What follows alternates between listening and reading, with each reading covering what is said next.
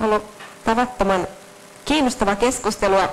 Yhtäältä tullut esiin, että paljonhan täällä jo tehdään ja paljon ymmärretään ja, ja paljon yritetään tehdä ja viedä asioita eteenpäin ja vahvistaa sosiaalisten ihmisoikeuksien asemaa Suomessa, mutta samaan hengenvetoa pitää jatkaa, että paljon on vielä tehtävää. Tämä oli erityisen hyvä pointti tämä niin kuin ihmisoikeuskulttuurin puuttuminen ja sen vahvistuminen. Siitähän tässä pitkälti on kyse, että jos se saadaan vahvistettua, niin ehkä se myös jollain tavalla valuu sinne poliittiseen päätöksentekoon.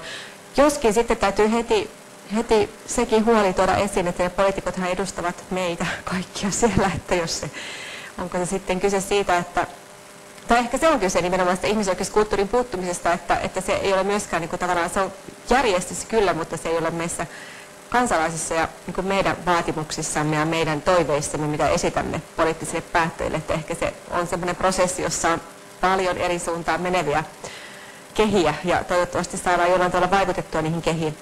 Mutta lopetetaan tähän ja muistutan vielä siitä, että, että älkää kolmotekoista pääovea, koska muuten hälytys lähtee käyntiin, eli menkää ulos muista ovista, joko tuolta ruokalan kautta tai tuolta päädystä, ja jättäkää ne muoviliput tänne. Ja suuri kiitos kaikille vielä. Jatketaan syksyllä.